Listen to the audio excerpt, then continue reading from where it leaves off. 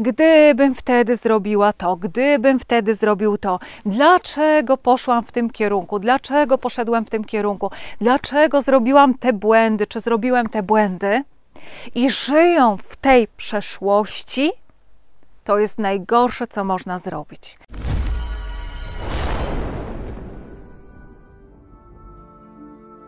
To jest bardzo, bardzo ważne i bardzo skomplikowane. O co tutaj chodzi? Z jednej strony przyjmujesz, z drugiej strony dajesz.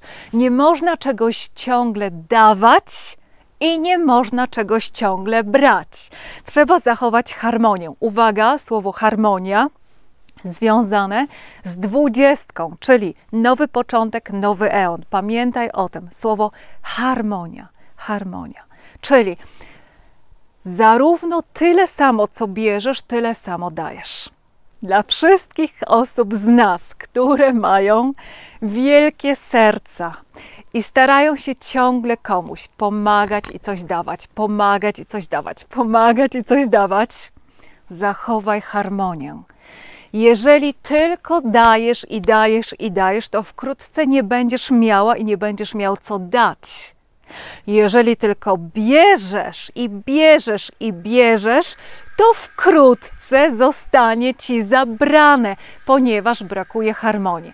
Czyli zwróć uwagę na harmonię w Twoim życiu we wszystkim. Ile bierzesz, tyle dajesz. Ile dajesz, tyle bierzesz przyjmuj od wszechświata, przyjmuj od wszechświata również niespodzianki. Przyjmuj je z wdzięcznością i radością i podziękowaniem, a będzie ich coraz więcej. Ale uważaj, żeby nie tylko brać, ale również dawać. Czyli we wszystkim, co robisz w Twoim życiu, gdy realizujesz Twoją idealną wizję życia, zwróć na to uwagę, żeby być w harmonii brania i dawania, jak prawdziwa arcykapłanka. Idziemy dalej. Arcykapłanka, jak i kot, nie wiem czego tutaj widać, pewnie go tutaj widać, jest symbolem wolności i niezależności. Co to oznacza? Ostatnio miałam bardzo, bardzo ciekawą dyskusję. Bardzo ciekawą dyskusję. Nie będę jej tutaj przytaczać z osobą, która jest mi niesamowicie bliska na temat Matrixa i systemu na temat wolności i niezależności od Matrixa i systemu. Na Twojej drodze realizacji siebie, realizacji Twojej wizji życia, pamiętaj o tym, by postawić na wolność. Wiesz, są takie testy psychologiczne i często zachęcacie mnie do takich różnych testów, różne rzeczy, żeby sprawdzić, żeby, żeby zobaczyć, gdzie i jak, co stoję, gdzie, jak coś wygląda w moim życiu. I wykonałam, chyba to było z pół roku temu, test wartości, czyli jakie wartości w moim życiu mają największe znaczenie. Jak myślisz, co było na pierwszym miejscu?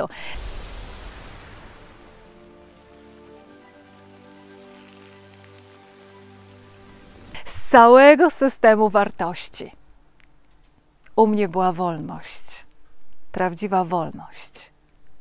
Być wolnym i niezależnym. Być wolnym i niezależnym od innych.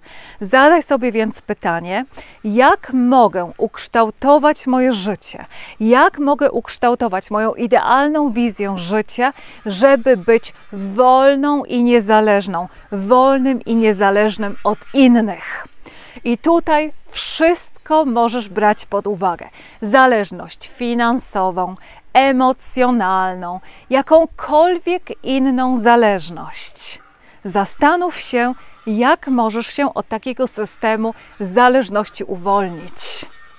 Bo tylko idąc drogą wolności, możesz siebie naprawdę zrealizować i możesz zrealizować swoją idealną wizję życia.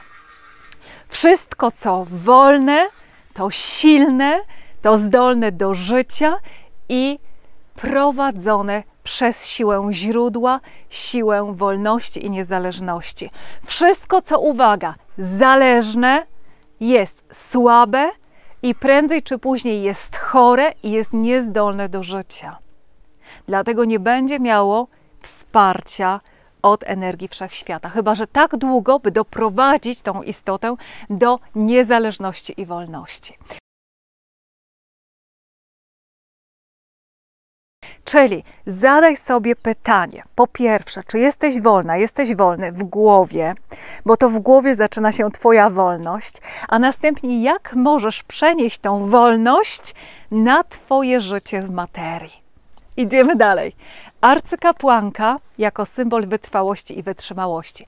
Długą drogę ma już za sobą od tej zwykłej osoby, nowicjuszki, poprzez kapłankę do arcykapłanki. I ty również masz taką długą drogę za sobą, różną drogę.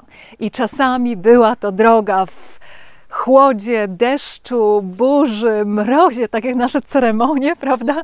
Czasami w takich czy w innych warunkach. I na to należy popatrzeć, czyli w momencie Twojego nowego początku zrób taki jeden, taki jeden moment popatrzenia na Twoją przeszłość i wyciągnięcia mądrych wniosków. Bo dzisiaj mamy tą dwudziestkę, czyli ten nowy początek, nowy eon, a to jest również przesłanie, aby krytycznie popatrzeć na swoją przeszłość.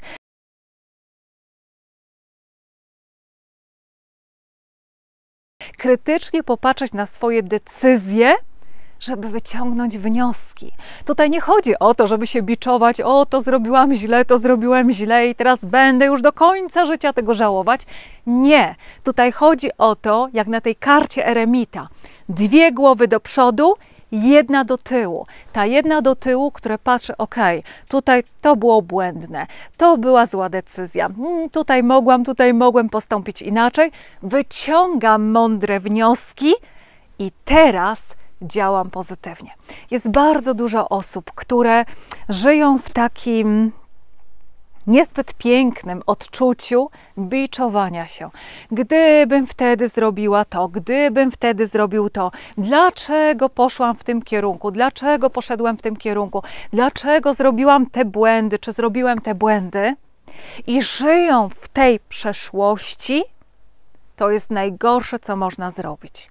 Należy zobaczyć swoje błędy, należy wyciągnąć wnioski, ale dzisiaj kreujesz Twoje jutro. Czyli dzisiaj działasz inaczej niż wczoraj, tak aby Twoje jutro było lepsze i piękniejsze.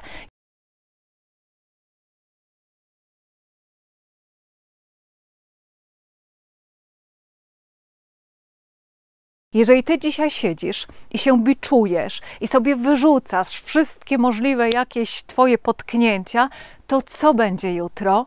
Jutro znowu będziesz się biczować i znowu będziesz robić błędy. Jeżeli dzisiaj krytycznie popatrzysz, ok, to był błąd. Dobrze, już drugi raz tego nie zrobię. Przepraszam siły wszechświata, przepraszam siebie za ten błąd, przepraszam może innych ludzi za jakieś rzeczy, które się wydarzyły i podejmuję dzisiaj mądrą decyzję że na mojej nowej drodze do realizacji siebie, do realizacji mojej idealnej wizji życia, już tego konkretnego błędu nie popełnię. Proszę o przewodnictwo, proszę o tą energię arcykapłanki, tej mądrości wyższej, aby iść z tą mądrością i podejmować mądre decyzje już nie popełniać starych błędów. Czyli dzisiaj kreujesz Twoje jutro. To, co myślisz dzisiaj, to będzie Twoją codziennością jutro.